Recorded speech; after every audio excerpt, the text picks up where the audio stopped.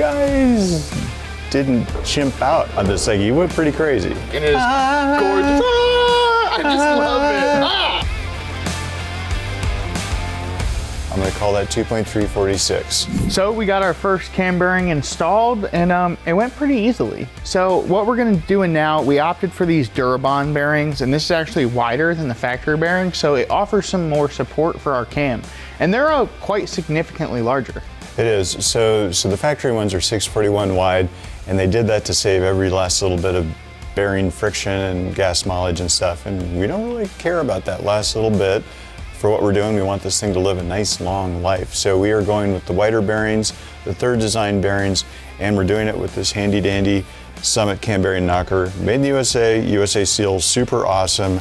Just floats in there. The mandrel is sized specifically for the cam bearing. So it just like, you know, slide in like that and you clock it, you know, with the hole so it aligns with the, uh, the oil hole and the, the, uh, the saddle there itself. And then the cone goes up towards the back and everything's nice and perfectly centered. So we're gonna keep going with it. Heck yeah, let's get to it. All right.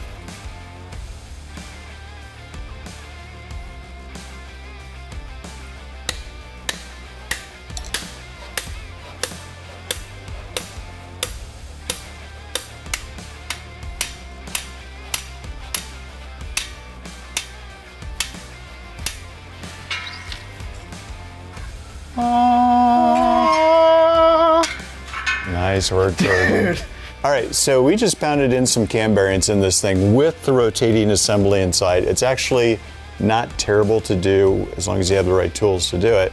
Now, number five, four, three, and two, no problem because you have the cone on one side to center it, you smack it, everything goes in exactly the way you want it. The problem is you get all the way out on number one, you don't have the cone to really align it and you could be a little off, up, down, side, side, whatever, not good. And the problem with that is, is you'll put your cam in, you know, with five, four, three, and two, spinny, spinny, spinny, no problem.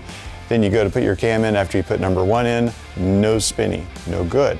So we have worked and we've developed this handy dandy new guide for doing the, the cam bearings where the number one, no problem. You bolt this thing up to the front, it goes right up to where your cam retainer plate normally goes. And then it is actually has a register in it to fit the backside of this tool and this so that everything hits home. Pretty awesome deal. So we've got all our cam bearings installed. Um, I got the cam cleaned off, lubed up and ready to go. Let's slide this thing in and um, see if it spins over freely and then yeah. we can proceed with the process. I mean, if we did our jobs right with the cam bearing knocker, got all the cams in, you know, all the bearings nicely, you should rock. When putting in a cam, you kind of just want to do this real gingerly. And this thing doesn't have a crazy base circle on it, so it should slide right in. All right, I'm getting the final one fed back in. All right, we are rocking. We're spinning? Yep, I can spin that with just my fingers. That means the cam bearings are all square, installed correctly, and um, means we can move on with the process.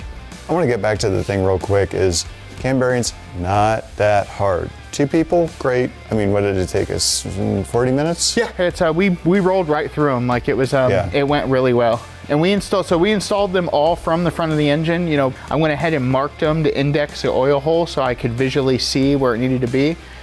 Then I used my Sunex four finger grabber, dropped the bearing in down in there, and then maneuvered them around, put them on the tool. We kind of used the clock method told Brian counterclockwise or clockwise to get the oil hole sent up. And then once it was lined up, we sent them home into place. And then you have a pick. So that's basically what you put in there to make sure that you know your the oil hole in the bearing will actually go down inside the block. It's just it's a nice, nice check. So if it's getting around that, it's going to feed your bearing. Yeah. So with that, we're ready to put a back cover on, barbell, get our front timing cover on, our cam thrust plate. We uh we got some stuff to do, so let's get cylinder to it. Cylinder head. And then the cylinder heads. Oh, I'm so excited for that. All right, guys. So um, with that, on to the next one. So what I'm getting ready to install now is our Summit Racing billet barbell. So the factory one you guys saw earlier in the video is plastic. Basically the purpose of this, if the filter would get plugged up, this is the bypass. So what happens is a lot of times those, if that in the event that happens, it should never, but they break and you know, you get some plastic in the motor, that kind of deal. Way better than metal. Well, this thing will not break. So, um, you know, with regular oil changes and maintaining your high performance LS, you should never have that problem, but we like to replace it with a billet one. So billet. it's blue. Yes, it's nice and shiny. I can appreciate it. Our barbell is installed. So with all that, you know, the cool part about we're putting a whole new brand new cover on the back of this with a fresh rear main seal. So, and it comes with its own replacement bolts. So we're gonna go ahead, grab that. So with our rear cover ready to go on, I only have a couple bolts in it to keep the gasket on it. And you go ahead and you leave this plastic donut in the rear main seal and that'll pop out as you push it on. So just take it here, line it up around the crank, and our rear main seal is installed and we know our gasket is in the proper place. Nice. So go ahead and start a couple bolts. And then I'm gonna pull this donut off here and then I'm just gonna look at my rear main seal. I can see I actually have a spot that I rolled it a little bit. So I'm gonna grab a pick and fix that. But it, uh, it is no big deal. It happens to the best of us. The only time it's a problem is if you leave it like that and the seal looks good, so I'm gonna proceed. Rock on.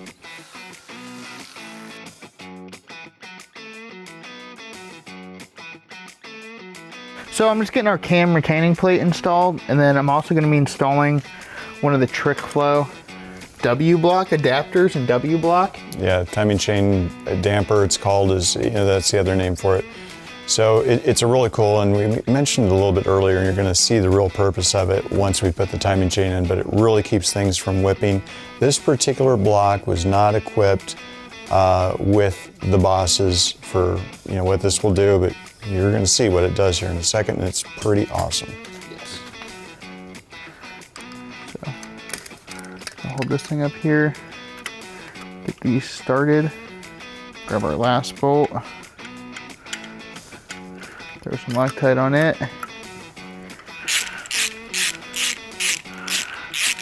Go ahead and get all these snugged up. Then we'll look to see what our torque spec is, and I'm gonna torque them to spec. So before we go ahead and throw all the timing stuff on, we're gonna put our bottom timing gear and our oil pump drive on this thing. It's a two piece. So it's one of our Summit Racing timing sets. I really like it. Now we are gonna set this up at zero and Brian's gonna explain why we're doing that. Right. So Pro LS cams and many cams these days actually have the advanced ground into the cam. So when you're taking a look at your cam card, take a look for advanced. It's likely gonna be ground into the cam, meaning you're still gonna go just dot to dot on the timing chain set that you use. Normally it's you know used with like an LS2 chain or something like that. That's more common. But if you've got you know an adjustable set like this, make sure you're going dot to dot, knowing that the cam actually has the advance already ground into it, you know, from the factory. Yeah, because if you didn't and you say you wanted, oh, you know, a lot of guys like to just put four degrees advance in a cam regardless of what they're putting in. What they would be doing then is they'd be adding four on top of the three I've already got ground into it, so they'd have seven. And that's a little much for this application. Yeah, it would be. So got that on there, slides nice on. I'm just gonna grab a rubber mallet and knock this bad boy on. All right, so we could use a, a mallet if we wanted to to knock this thing on. What we're gonna use instead is, it's actually a Summit oil pump primer. Uh, it's, it's designed to, well, just prime the engine prior to uh, startup, but it also works really good going over the snout of this thing and just giving it a few love taps. Solid. Yep. Rock and roll. Nice and bottomed out.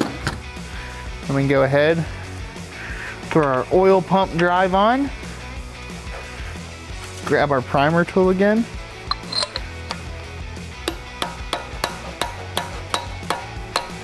And that thing's nice and seated. And next thing up is going to be what? Oil pan? Yep. Uh, pickup, oil pump, and oil pan. All right, there's so much America here going on. It's crazy. So we are going to be putting on a Made in the USA timing chain that's going to spin our Made in the USA Pro LS camshaft, which is also going to spin our Made in the USA Melling 10295 pump, USA. Yeah, so, so one of the things about the pumps on, on an LS, they're actually, you know, one to one, they're driven you know, right off the crank. So they turn very, very high RPM. These engines love to turn 7,000 RPM, 8,000 RPM. The only problem is you're spinning this little guy at high RPM. If it was a factory pump, they start to cavitate usually around 6,000 RPM. And that's when you really need your oil pump to be working good. Melling does a really great job when they design these things so cavitation isn't an issue. When you're sitting there at redline 7,000 RPM or more, no issues. You know that you're gonna be getting nice steady flow without any of the froth. So another benefit of the Summit Pro LS uh, oil pump primer is the fact that it can actually support the gears inside of your oil pump. They will have a tendency to just walk and do all sorts of weird things when you're trying to install, which you can deal with that if you want, or we can just go ahead and use this tool, slide it in, get everything nice and clocked, and go and make an attempt to get it onto our crank like that. Perfect. Mm, very nice, very nice. So I'm gonna grab a little bit of Loctite, throw it on our oil pump bolts, and get this thing torqued down. All right, so where we're at right now is we've got the lower timing gear on, we have the oil pump drive on, and we have our timing chain and gear and chain and everything. It's all, all good. So one thing you'll notice is it's a 24X engine. It's one of the earlier engine. You can tell that because it's got the single pole over here. And we are just going to go dot to dot with this thing. And it's just gonna go on so easy, just because it's just how things work. All right, so we just hung the uh, upper gear and the timing chain on everything, and we are dot to dot as we mentioned before, because Advance is already designed into the cam. We are just gonna go ahead at this point, go ahead and put some uh, cam bolts in it, and we're solid. One of the things that we're gonna do with the Trick Flow damper adapter is press out the metal bushings here. It's actually a fairly common damper, but the metal bushings inside are incompatible with the rest of the kit. So we have to punch these out from the plastic. It's pretty simple, 11 millimeter bolt, another bigger socket, uh, palm grid vise, life is good. Aha. And voila. The bushing's out and it's gonna go perfect, just like the rest of our assembly here. Brian went ahead and got our W block ready. I'm gonna get our cam gear bolted on with some of our Summit um, Pro LS cam bolts. You know, we like to replace them every time we put a new cam and cam gear on. So I'm gonna get that bolted on, our W block on, um, and then we're gonna be ready to oil pump, pick up, and uh, timing cover. So we're moving along quite nicely. All right, so even without the W block, that chain is tight. That thing is awesome. That is not no cheap off-brand something something. That's a very, very nice timing chain.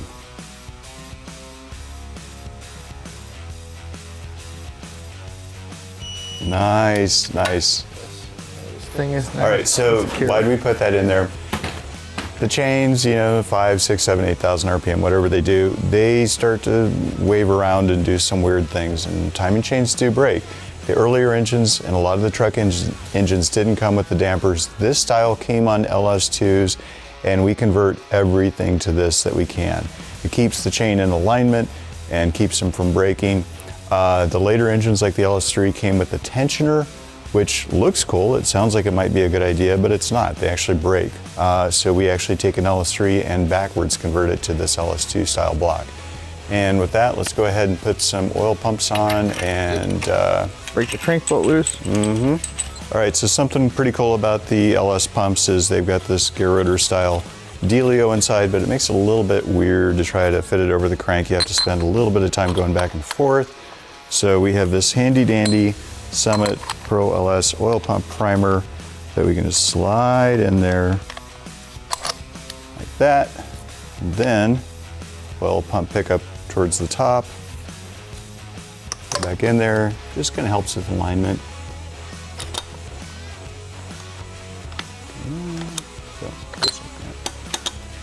Boom. All right, now we're ready to bolt it down. Grab some Loctite. And just like a lot of this other stuff, we're gonna torque these to 18 foot-pounds. Yeah, so for this particular build, so this motor is actually, this is not a swap. It's not going back in an LS powered, you know, factory vehicle. It's going in a Ford. Yeah, so, you know, a little sacrilegious, but we love to see it. So it's going in a 78 F100 and for it to clear, it needs one of our Summit swap pans. So we have our Summit swap pickup. Um, I've already gone ahead and kind of messed with the windage tray a little bit and made sure it fits, fitted the pan. I'm really happy about that. So yeah, the thing fits good. We're gonna get it bolted on and then get our pan on here. And um, yeah, we're ready to start putting the top end together. But we can put a timing cover on it. Okay. I'm gonna get some assembly lube. We're gonna go ahead and throw that into the oil pump itself to make the insertion of the O-ring flawless. All right, so this is the, um, the nut that you have to have off the windage tray back over here. I love when a good plan comes Oh man. And that's the one thing I like about our swap pans and all this jazz is that we use the dual bolt design Yes. versus the single stock LS. I don't know if you guys have ever had the dreaded um, your oil pump pick, pickup falling off. I've experienced it. It's not a good time. But yeah, so with our swap pans and our pickups, we go to the two tab design because the oil pump provisions have holes for two bolts. And then we're gonna go ahead and put the, uh, the last windage tray bolt. It's good, it's good. All right, um, with that, let's go ahead and put some oil pans on.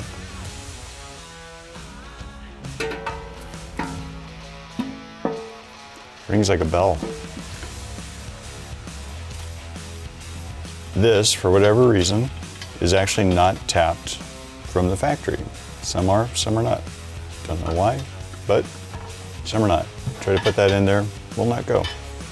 Don't worry about it.